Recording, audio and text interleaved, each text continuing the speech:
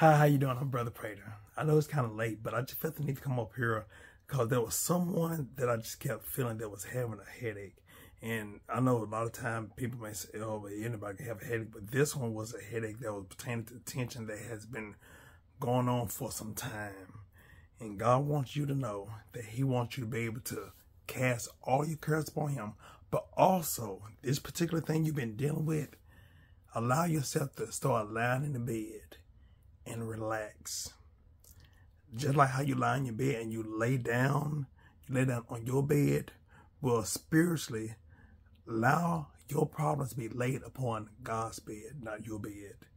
This is the time for you to start evacuating everything that's pertaining to stress, drama, trauma, and worry. Evacuate it and evict it out of your residence. Also, be very mindful of the conversations that you allow, not only in your house, but most importantly, in your bedroom.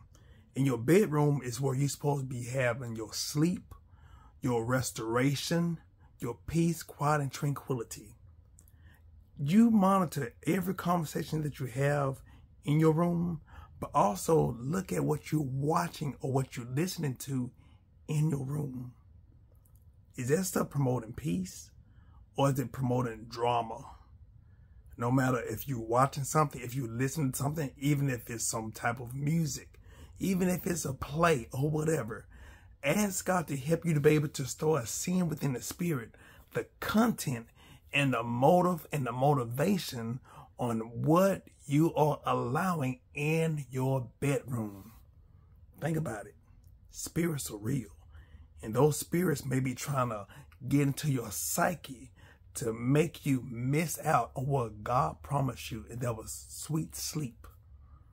God wants you to rest and sleep.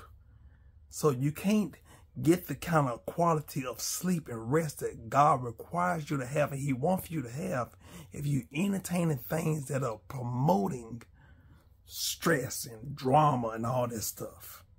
So casting all your cares upon Him, He cares for you, but He cares about you enough to tell you, cut that mess off.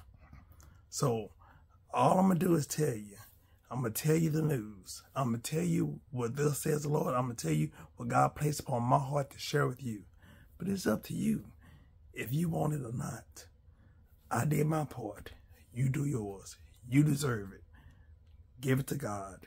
And not only give it to God, but give that mess back to the devil so you won't be entertaining that stuff that's promoting your restless nights anymore.